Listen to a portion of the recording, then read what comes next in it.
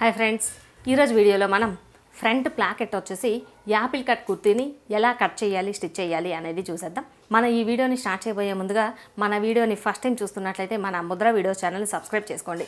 పక్కనే ఉన్న bell button on చేసినట్లయితే కొత్తగా ఎప్పుడు వీడియోస్ అప్లోడ్ చేసినా ముందుగా మీకు నోటిఫికేషన్ వచ్చేస్తుంది. వీడియో నచ్చినట్లయితే లైక్ చేయండి అలానే మీ ఫ్రెండ్స్కి షేర్ చేయండి. ఈరోజు మనం ఫ్రంట్ ప్లాకెట్ వచ్చేసి యాపిల్ కట్ కుర్తీని చాలా అంటే చాలా ఈజీగా ఎలా కట్ చేయాలి స్టిచ్ చేయాలి అనేది చూసేద్దాం. యాపిల్ కట్ కుర్తీని కట్ చేసుకోవడానికి మనకి ఫుల్ హ్యాండ్స్ అయితే కనుక రెండున్నర మీటర్ క్లాత్ పడుతుంది. అదే షార్ట్ హ్యాండ్స్ అయితే కనుక రెండు మీటర్ల క్లాత్ని సరిపోతుంది. దీనిలో కూడా మనకి చిన్న పన్నా అయితే ఇంకొక హాఫ్ మీటర్ క్లాత్ ఎక్కువ పడుతుంది. పెద్ద పన్నా అయితే కనుక ఒక హాఫ్ మీటర్ క్లాత్ తక్కువ పడుతుంది. దాన్ని బట్టి మనకి ఈ క్లాత్ వచ్చేసి పన్నా పెద్దదా చిన్నదా అనే దానిని బట్టి ఈ క్లాత్ని తీసుకోవాలి. ఇప్పుడు నాకు వచ్చేసి ఇది పన్నా కొంచెం పెద్దగానే వచ్చింది మరీ పెద్దది కాదు మీడియం సైజులో వచ్చింది. కాకపోతే దీనికి డిజైన్ వచ్చింది. ఇలా. ఈ డిజైన్ వచ్చేసి ఈ ఫ్లవర్స్ ఇలా ఉంటే మనకి నిలువుగా బాగుంటుంది కానీ ఇలా అడ్డంగా ఉంటే బాగుండదు కదా. కాబట్టి ఇలా డిజైన్ వచ్చినప్పుడు కూడా మనకి ఒక హాఫ్ మీటర్ క్లాత్ ఎక్కువ పడుతుంది. దానిని బట్టి మనకు డిజైన్ వచ్చిందా పెద్ద పన్నానా చిన్న పన్నానా అనేది ఒకసారి చెక్ చేసుకొని మనము క్లాత్ని తీసుకోవాలి. ఇప్పుడు నేనైతే రెండున్నర మీటర్ క్లాత్ని తీసుకున్నాను. దీనిలో ఒక హాఫ్ మీటర్ వచ్చేసి మనకి హ్యాండ్స్కి వెళ్ళిపోతుంది. మిగిలిన రెండు మీటర్లు టాప్ని కట్ చేయడానికి సరిపోతుంది. దీనికి వచ్చేసి మనకి ఫస్ట్ ఈ క్లాత్ రెండు చివర్లు ఫోల్డ్ చేసేసుకోవాలి.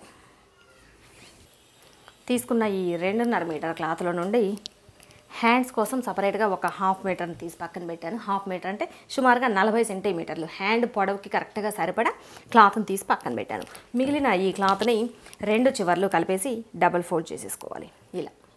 రెండు చివర్లు కలిపేసి డబల్ ఫోల్డ్ చేసేసుకొని మనకి ఈ డిజైన్ ఎలా అయితే వచ్చిందో ఈ డిజైన్కి తగ్గట్టుగా మనం క్లాత్ని ఫోల్డ్ చేసుకోవాలి. అదే ఈ డిజైన్ ఏమీ లేదనుకోండి చక్కగా ఈ చివరన ఎడ్జెస్ కనుక ఇలా ఫోల్డ్ చేసుకున్నట్లయితే ఈ చివరి నుంచి మనకి కుర్తీ కోసం ఫ్రంట్ బ్యాక్ సైడ్ వచ్చేస్తుంది. ఈ చివరన హ్యాండ్స్కి వచ్చేస్తుంది. చక్కగా ఈ రెండు మీటర్ క్లాత్లోనే మనకు మొత్తం సరిపోతుంది. డిజైన్ వచ్చింది కాబట్టి ఒక చివరన క్లాత్ అయితే కొంచెం వేస్ట్ పోతుంది. మనకి డిజైన్ వచ్చినప్పుడు మరి అలానే తీసుకోవాలి. కాబట్టి ఇలా ఈ రెండు చివర్లని ఫోల్డ్ చేసేసి ఫోల్డ్ చేసిన తర్వాత ఇప్పుడు మనం ఇలా చివరి నుండి ఫోల్డ్ చేసుకోవాలి. ఇది వచ్చేసి మనకి కుర్తీకి సైజుకి లూజు ప్లస్ ఖర్చులకి సరిపడా ఎంత వస్తుందో చెక్ చేసుకొని ఇలా ఫోల్డ్ చేసుకున్న తర్వాత ఇప్పుడు మనం మార్కింగ్స్ని తీసుకుందాము. ఇలా ఫోల్డ్ చేసుకున్న తర్వాత మనకి ఈ క్లాత్ మధ్యలో ఎక్కడ ఎక్కువ తక్కువ అంటే ఇది సిల్క్ క్లాత్ కదా. ఈ సిల్క్ క్లాత్ వల్ల ఏమవుతుందంటే ఇలా డబుల్ ఫోల్డ్ చేసినప్పుడు మధ్యలో గ్యాప్ వస్తుంది. గ్యాప్ ఏమీ రాకుండా ఈ ఫోల్డింగ్ పై వైపున క్లాత్ లోపల వైపున క్లాత్ కరెక్ట్గా ఉందేమో ఒకసారి చెక్ చేసుకొని తర్వాత మాత్రమే మనం మార్కింగ్స్ని పెట్టుకోవాలి. ఇలా ఫోల్డ్ చేసుకున్న తర్వాత ఇప్పుడు మనం కొలతల్ని తీసుకుందాము. ఇది వచ్చేసి ఫుల్ లెంత్ నలభై రెండు ఇంచులు. నలభై రెండు ఇంచులు ప్లస్ పై వైపున చివరి వైపున ఖర్చు కోసం ఒకటిన్నర ఇంచ్ ఎక్స్ట్రా తీసుకోవాలి. ఈ చివరి వైపున వచ్చేసి మనం ఫోల్డ్ చేసి కుట్టు వేసుకోవాలి డబల్ ఫోల్డింగ్. కాబట్టి వన్ ఇంచ్ ఎక్స్ట్రా తీసుకోవాలి. పై వైపున షోల్డర్ జాయింట్ దగ్గర ఒక హాఫ్ ఇంచ్. ఒకటిన్నర ఇంచ్ ఎక్స్ట్రా కలుపుకుంటే మనకి నలభై మూడున్నర ఇంచులు. నలభై మూడున్నర ఇంచుల దగ్గర మార్కింగ్ చేసేసుకోవాలి ఈ చివరన. ఈ చివరన ఇలా స్ట్రైట్గా మార్కింగ్ చేసి పెట్టేసుకొని ఇక మనం మిగిలిన కొలతల్ని తీసుకోవాలి.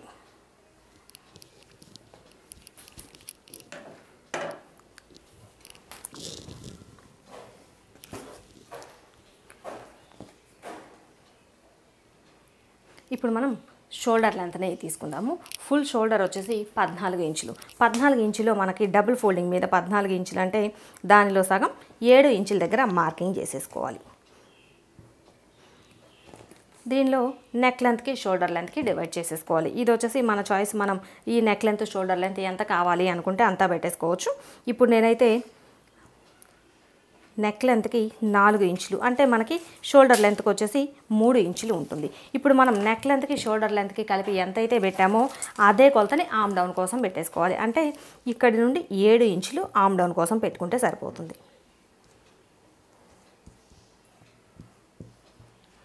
ఇక్కడ నుండి ఇలా స్ట్రైట్గా డ్రా చేసేసుకోవాలి. ఇలా మార్కింగ్ చేసుకున్న తర్వాత ఇక్కడ నుండి మనకి షోల్డర్ డౌన్ కోసం వన్ ఇంచ్ దగ్గర మార్కింగ్ చేసేసుకోవాలి. వన్ ఇంచ్ దగ్గర మార్కింగ్ చేసేసుకొని ఇక్కడ నుండి ఇలా క్రాస్గా డ్రా చేసేసుకోవాలి. ఇలా డ్రా చేసుకున్న తర్వాత ఇప్పుడు మనం ఆమ్ రౌండ్ చేసేసుకోవాలి. ఇక్కడ ఈ చివరి నుండి ఒకటిన్నర ఇంచుల దగ్గర మార్కింగ్ చేసేసి ఆమ్ రౌండ్ చేసేసుకుంటే సరిపోతుంది.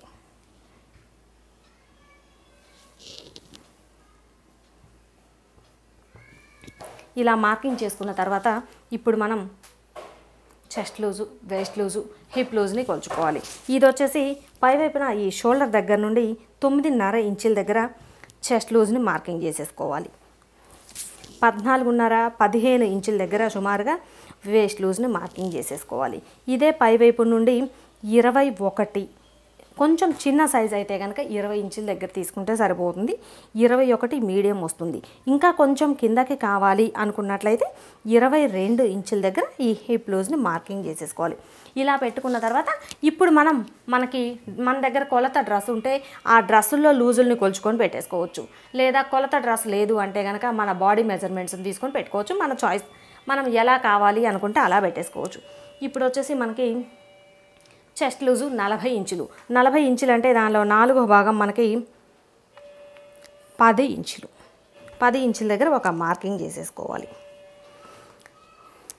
అలానే వేస్ట్ లూజ్ వచ్చేసి ముప్పై ఎనిమిది ఇంచులు. ముప్పై ఎనిమిది ఇంచులు అంటే దానిలో నాలుగో భాగం మనకి తొమ్మిదిన్నర ఇంచులు. తొమ్మిదిన్నర ఇంచుల దగ్గర ఒక మార్కింగ్ చేసేసుకోవాలి. హిప్ లూజ్ వచ్చేసి నలభై ఆరు ఇంచులు.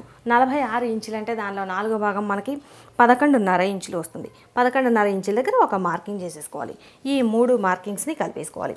మనకి ఈ మూడు మార్కింగ్స్ని కలుపు కలుపుకునేటప్పుడు షేప్ కరెక్ట్గా రావాలి అంటే కొంచెం ఇలా ఈ పై వైపు నుండి ఇలా యూ షేప్లో ఇక్కడ నుండి కొంచెం ఇలా.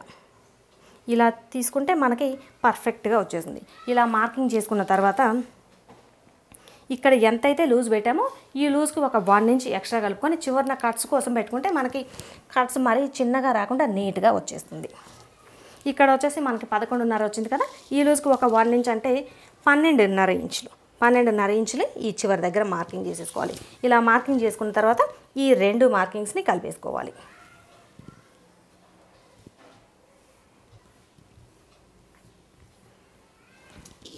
ఇలా కలుపుకున్న తర్వాత ఇప్పుడు మనం ఎక్స్ట్రా ఖర్చు కోసం తీసుకోవాలి. ఈ చివరన కట్స్ కోసం వచ్చేసి ఎగ్జాక్ట్గా వన్ ఇంచ్ మాత్రమే తీసుకోవాలి. ఎక్కువ తీసుకున్నాము అంటే ఈ కట్స్ మనకి అంత పర్ఫెక్ట్గా రావు.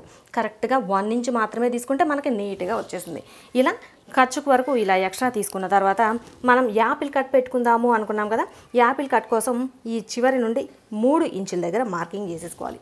మూడు ఇంచుల దగ్గర మార్కింగ్ చేసేసుకొని ఈ చివరి నుండి జస్ట్ ఇలా యాపిల్ షేప్లో అంటే మనకి యూ షేప్లో వస్తుంది. యూ షేప్లో ఇలా మార్కింగ్ చేసేసుకోవాలి.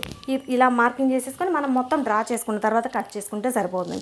ఇలా ఇంతవరకు పెట్టుకున్న తర్వాత ఈ పై వైపున వచ్చేసి మనం ఒరిజినల్ కొలతను తీసుకున్నాం కదా తీసుకున్న ఈ ఒరిజినల్ కొలతకి ఎక్స్ట్రా ఖర్చు కోసం రెండు ఇంచుల దగ్గర మార్కింగ్ చేసేసుకోవాలి.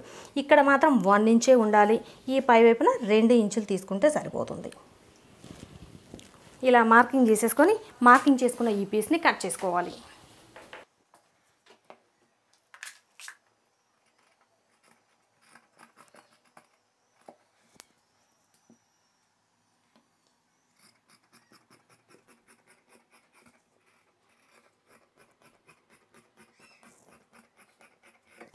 ఇలా ఇంతవరకు కట్ చేసుకున్న తర్వాత ఇక్కడ హిప్ లూజ్ దగ్గర మార్కింగ్ పెట్టాం కదా ఇక్కడ చిన్న టక్స్ పెట్టేసుకోవాలి. మనం ఇలా పీసుల్ని విడిగా తీయకుండానే ముందుగా టక్స్ పెట్టేసామంటే ఇక్కడి వరకు సైడ్ జాయింట్ వేసేసుకొని ఇక్కడ నుండి కట్స్ పెట్టుకోవడానికి వీలుగా ఉంటుంది. ఇక మిగిలిన మొత్తాన్ని కట్ చేసేసుకోవాలి.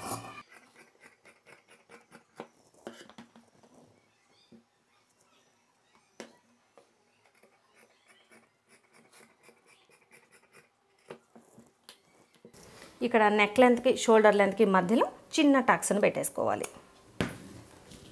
ఇలా ఇంతవరకు కట్ చేసుకున్న తర్వాత ఇప్పుడు మనం ఫ్రంట్ పార్ట్ పీస్ని బ్యాక్ పార్ట్ పీస్ని విడిగా తీసుకోవాలి.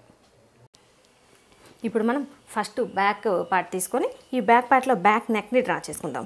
ఇది వచ్చేసి మూడు ఇంచులు పెడుతున్నాను బ్యాక్ డౌన్ కోసం. మన ఇష్టం మనకి ఎక్కువ కావాలి అనుకుంటే ఎక్కువ తక్కువ కావాలి అనుకుంటే తక్కువ పెట్టుకోవచ్చు. మూడు ఇంచుల వరకు పెట్టేసి ఇక్కడ చిన్న రౌండ్ చేశాను. మార్క్ చేసిన ఈ పీస్ని కట్ చేసుకోవాలి.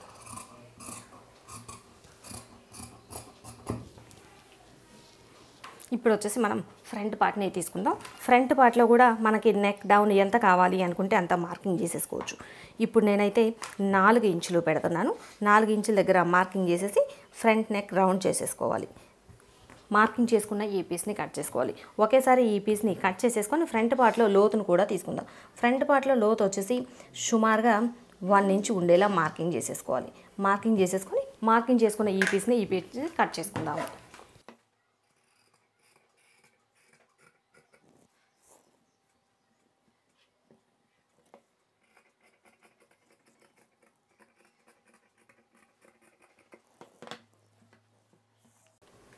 ఇప్పుడు మనం మిగిలిన క్లాత్ని తీసుకొని దీనిలో హ్యాండ్స్ని కట్ చేసుకుందాం. ఎక్స్ట్రా హాఫ్ మీటర్ క్లాత్ని తీసి పక్కన పెట్టాం కదా దీనిని డబుల్ ఫోల్డ్ చేసేసుకోవాలి. ఇది వచ్చేసి ఆల్రెడీ మనకి డబుల్ ఫోల్డింగ్ మీద ఉంది. మళ్ళీ ఇంకొక ఫోల్డ్ చేసేసుకోవాలి. ఇలా ఫోల్డ్ చేసుకున్న తర్వాత ఇప్పుడు మనం హ్యాండ్ కొలతల్ని తీసుకుందాం. ఈ చివరిన ఎడ్జెస్ ఏమైనా ఎక్కువ తక్కువ ఉంటే కట్ చేసుకోవాలి. అప్పుడే మనకి హ్యాండ్ ఎక్కువ తక్కువ రాకుండా నీట్గా వస్తుంది. ఇలా కట్ చేసుకున్న తర్వాత ఇప్పుడు మనం హ్యాండ్ కొలతల్ని తీసుకుందాం.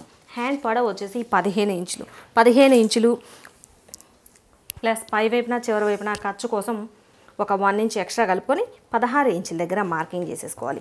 మార్కింగ్ చేసుకున్న తర్వాత ఇదే మార్కింగ్ని ఈ క్లాత్కి చివరి వైపున కూడా పెట్టేసుకోవాలి. ఇలా మార్కింగ్ చేసుకున్న తర్వాత హ్యాండ్ డౌన్ కోసం ఈ చివరి వైపు నుండి మూడున్నర ఇంచుల దగ్గర మార్కింగ్ చేసేసుకోవాలి. మూడున్నర ఇంచుల దగ్గర ఇలా మార్కింగ్ చేసుకున్న తర్వాత ఇప్పుడు మనం హ్యాండ్ లూజులను కొలుచుకోవాలి. హ్యాండ్ చివరి లూజ్ వచ్చేసి పదకొండు ఇంచులు. పదకొండు ఇంచుల్లో సగం అంటే మనకి డబుల్ ఫోల్డింగ్ మీద ఐదున్నర ఇంచుల దగ్గర ఒక మార్కింగ్ చేసేసుకోవాలి అలానే ఈ హ్యాండ్కి ఐదున్నర ఆరు ఇంచుల దగ్గర ఒక కొలత తీసుకోవాలి. ఇక్కడ వచ్చేసి పదమూడు ఇంచులు. పదమూడు ఇంచుల్లో సగం అంటే ఆరున్నర ఇంచులు. ఆరున్నర ఇంచుల దగ్గర మార్కింగ్ చేసేసి ఇక్కడ ఎంతైతే లూజ్ వచ్చిందో ఈ లూజ్కి ఒక వన్ ఇంచ్ ఎక్స్ట్రా కలుపుకొని ఇక్కడ పెట్టేసుకోవాలి. ఆరున్నర ప్లస్ ఒకటి అంటే మనకి ఏడున్నర ఇంచులు. ఇలా మార్కింగ్స్ తీసుకున్న తర్వాత ఈ మూడు కొలతల్ని కలిపేసుకోవాలి. ఈ మూడు లూజుల్ని కలిపేసుకున్న తర్వాత ఖర్చు కోసం ఎక్స్ట్రా రెండు ఇంచులను పెట్టుకోవాలి. ఇలా మార్కింగ్ చేసుకున్న తర్వాత ఇప్పుడు మనం హ్యాండ్ కర్వ్ని తీసుకోవాలి. ఇక్కడ నుండి స్ట్రైట్గా వన్ ఇంచ్ వరకు తీసి ఇక్కడ నుండి కొంచెం కొంచెంగా డౌన్ చేసేసుకొని ఈ మార్కింగ్ దగ్గరికి కలిపేసుకోవాలి. డ్రా చేసుకున్న ఈ పీస్ని కట్ చేసుకోవాలి.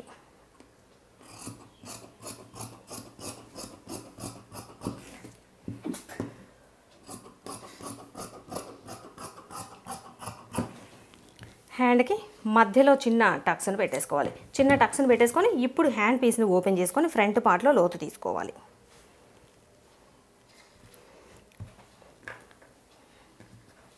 ఫ్రంట్ పార్ట్లో లోతు తీయడం కోసం మధ్యలో ముప్పావు ఇంచ్ దగ్గర మార్కింగ్ చేసేసి ఈ చివరి వైపున ఈ క- ఎక్స్ట్రా ఖర్చు కాకుండా ఇక్కడ నుండి ఈ టక్స్ దగ్గర నుండి వన్ ఇంచ్ దగ్గర ఇలా డ్రా చేసేసి చిన్న పీస్ని లోతు తీసుకుంటే సరిపోతుంది.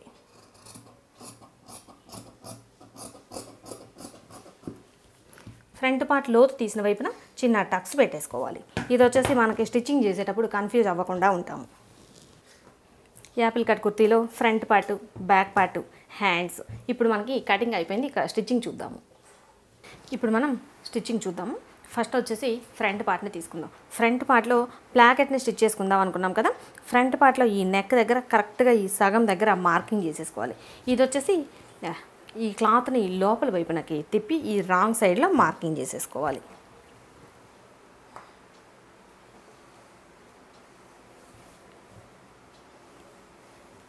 ఇలా మార్కింగ్ చేసుకున్న తర్వాత ఇక్కడి నుండి ప్లాకెట్ కోసం ఎనిమిది ఇంచుల వరకు కట్ చేసుకుంటే సరిపోతుంది. ఈ ప్లాకెట్ వచ్చేసి మన చాయిస్ మనం ఎంత కావాలి అనుకుంటే అంత పెట్టేసుకోవచ్చు.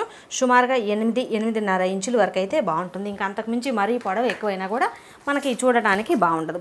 ఇలా కట్ చేసుకున్న తర్వాత సుమారుగా ఒక ఆరు ఇంచులు ఉండేలా ఒక స్ట్రైట్ పీస్ని తీసుకోవాలి. ఈ పీస్ని వచ్చేసి ఇలా కరెక్ట్గా దీనిని కూడా సగానికి ఫోల్డ్ చేసేసుకోవాలి. సగానికి ఫోల్డ్ చేసేసుకొని కరెక్ట్గా మధ్యలో ఒక మార్కింగ్ చేసేసుకోవాలి.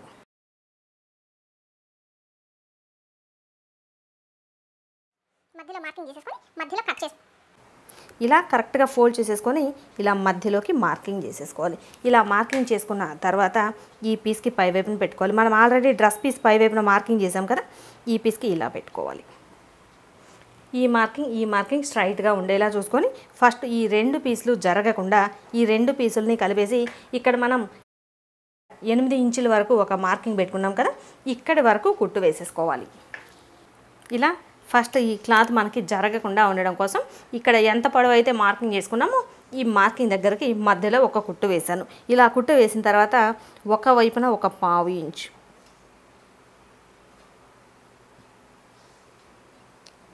ఈ మార్కింగ్ దగ్గర వరకు. ఇలానే రెండవ వైపును కూడా ఒక పావు ఇంచు ఈ మార్కింగ్ దగ్గర వరకు. ఇలా ఇక్కడ నుండి స్టార్ట్ చేసి ఇక్కడి వరకు ఇలా రెండవ వైపున. ఇక్కడ ఈ చుట్టూ కుట్టు వేసేసుకుందాము ఇలా ఈ మార్కింగ్కి రెండు వైపులో ఒక హాఫ్ ఇంచ్ గ్యాప్తో ఇలా చుట్టూ కుట్టు వేసిన తర్వాత ఇప్పుడు మధ్యలో కట్ చేసుకోవాలి.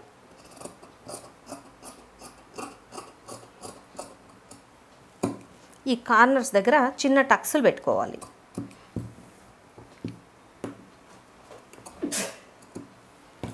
ఇలా టక్స్లు పెట్టేసుకొని ఇప్పుడు ఈ పీస్ని ఎక్స్ట్రా మనం జాయింట్ చేసాం కదా ఎక్స్ట్రా జాయింట్ చేసిన ఈ పీస్ని పై వైపునకు తీసుకోవాలి.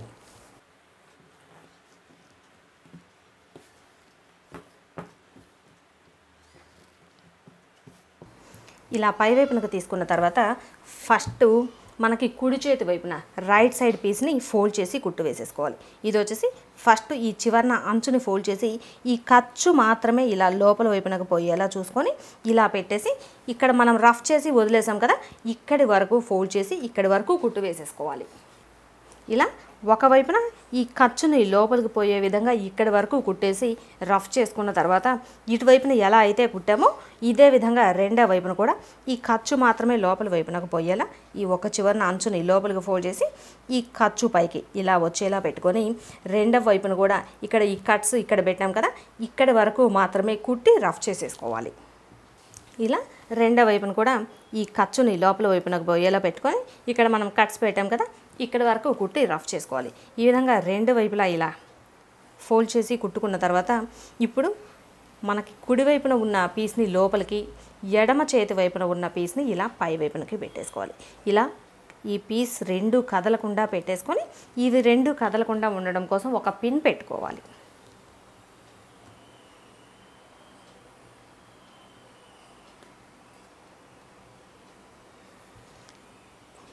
ఇక మనకి ఈ క్లాత్ జరగకుండా ఉంటుంది. ఇలా పిన్ పెట్టుకున్న తర్వాత ఇక్కడ వచ్చేసి మనకి మొత్తం ఇది కనుక కుట్టు వేయాలి అంటే దాదాపు చాలా స్టిఫ్గా వస్తుంది. అందుకోసం ఒక సగం క్లాత్ని కట్ చేసుకోవాలి. పై వైపున ఉన్న క్లాత్ను ఉంచేసి లోపల వైపున ఉన్న క్లాత్ను మాత్రమే కట్ చేసుకోవాలి.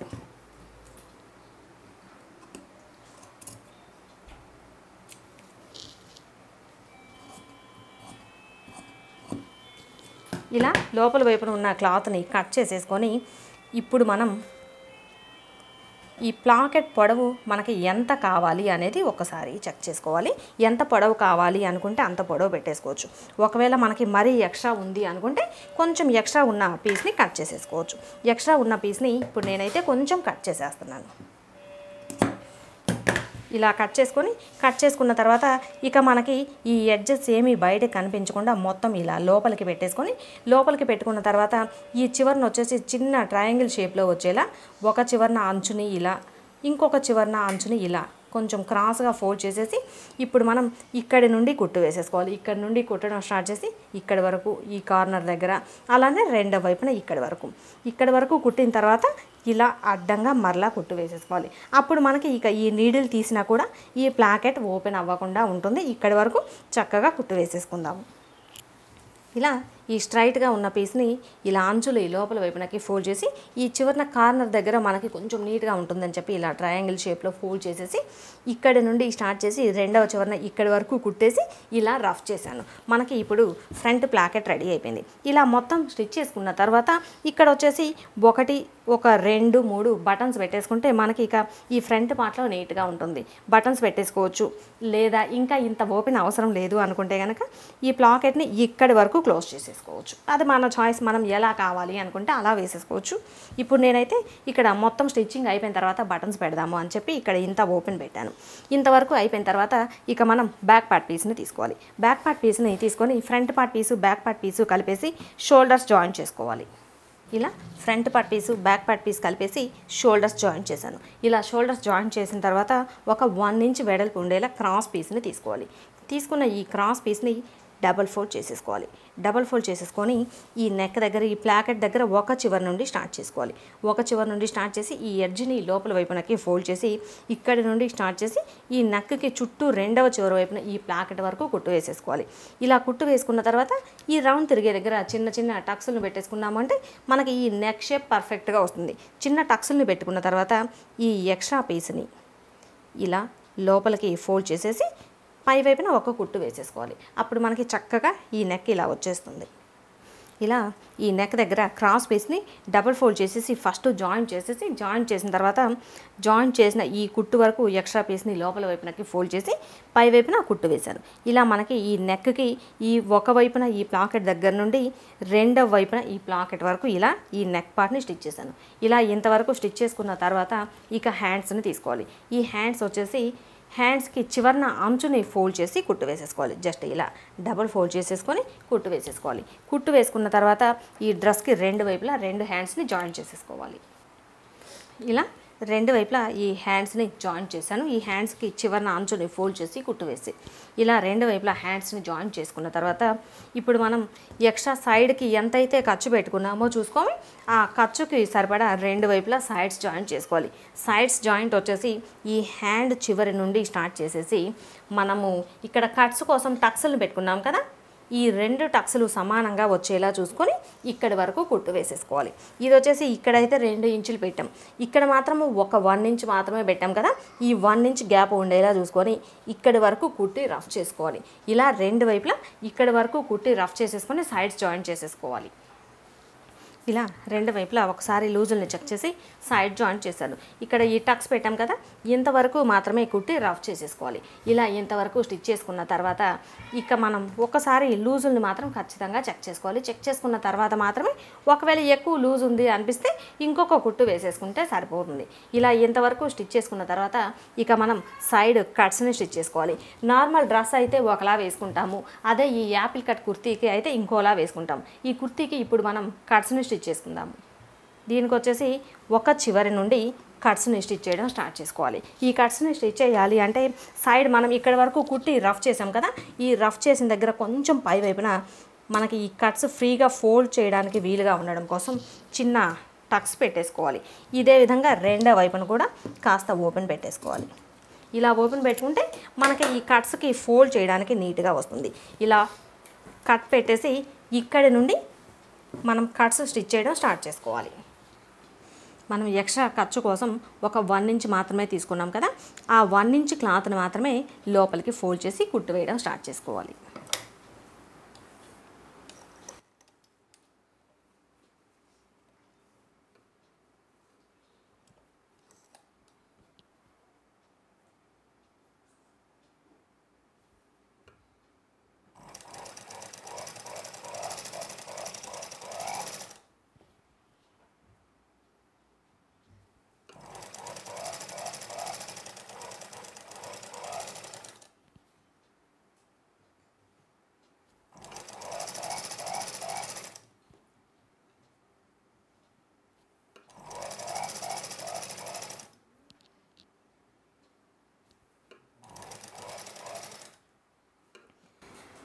దీనికి వచ్చేటప్పటికి మామూలుగా అయితే ఒకవైపున ఇలా ఫోల్డ్ చేసిన తర్వాత లాస్ట్లో చివరన అంచుని ఫోల్డ్ చేసి కుట్టేస్తాం. దీనికి వచ్చేటప్పటికి కట్స్ ఇక్కడ ఒక చివరి నుండి స్టార్ట్ చేస్తే ఈ చివర కూడా మొత్తం ఒకేసారి కంటిన్యూగా కుట్టేసుకోవాలి. ఈ చివరన ఈ ఫోల్డింగ్ ఈ కార్నర్ దగ్గర జస్ట్ ఇలా మరీ ఎక్కువ క్రాస్ రాకుండా కొంచెం ఇలా క్లాత్ సాగకుండా ఫోల్డ్ చేసుకుంటే మనకి ఈ కార్నర్ దగ్గర కూడా నీట్గా వచ్చేస్తుంది.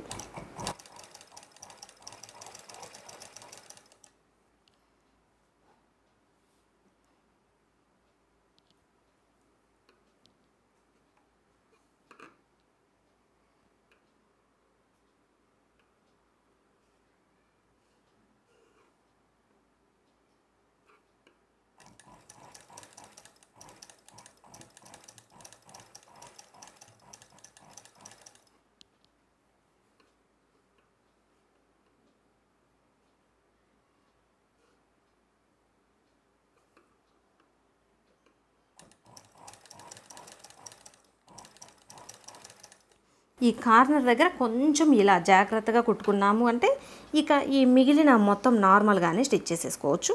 ఇక్కడైతే పెద్దగా కష్టపడాల్సిన పని ఏమీ ఉండదు.